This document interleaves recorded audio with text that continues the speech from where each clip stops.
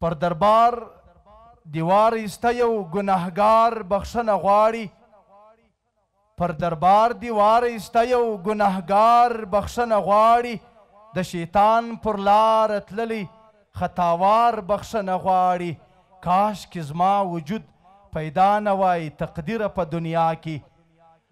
کاشکې زما وجود پیدا نه وای تقدیره په دنیا کې زما روح د تور دوزخ اور کې حصار بخښنه غواړي کاینات زما په تور عمل شرمیږي چې راګوري کاینات زما په تور عمل شرمیږي چې راګوري وای الله اکبر او استغفار بخښنه غواړي که د قبر تورو خاورو مي دا تور وجود برداشت کړ که د قبر تورو خاورو مي دا تور وجود برداشت کړ خامخا به وي له ستړي ژوند بېزار بخښنه غواړي